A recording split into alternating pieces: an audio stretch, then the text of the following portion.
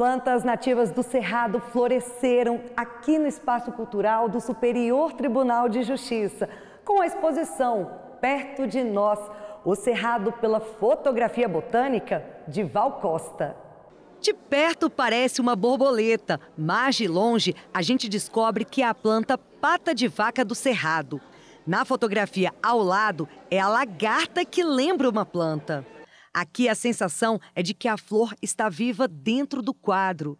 O colorido, a riqueza de detalhes e até um simples caju impressiona quem visita a exposição perto de nós, o Cerrado pela Fotografia Botânica de Val Costa, como a analista de marketing Ana Carolina Arcângela. Esse verde que ela traz, esse quadro que, que são cajus, é uma coisa assim muito brasileira. Então deixa a gente um pouco saudosa. Acho que vê mesmo o, um pouco do Brasil nas peças dela.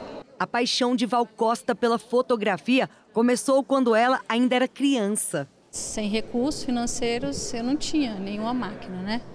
Aí ganhei uma analógica, uma saboneteira, aquelas quadradinhas e aí foi, com o passar do tempo, a paixão foi aumentando e o querer conhecer, o querer aprender foi crescendo.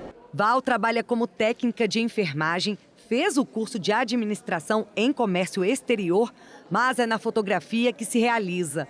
Nascida na capital do país, encontrou no Cerrado a inspiração para a exposição, que conta com 37 fotos. A foto do Cerrado é, foi devido a eu ter nascido aqui em Brasília, quando ainda estava na construção de Brasília, que era mato, que era cerrado, e é, e foi crescendo essa paixão pelo cerrado e pela fotografia justamente, é, juntamente.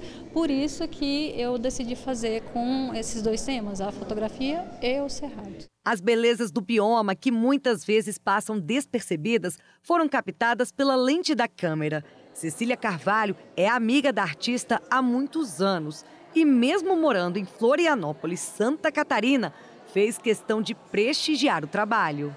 Inclusive a gente fez vários ensaios assim de fotografias em Florianópolis. A gente saía para as praias é, ou para as regiões assim, fazia trilha e fotografava. A exposição ficará em cartaz até o dia 23 de junho. Você não pode perder.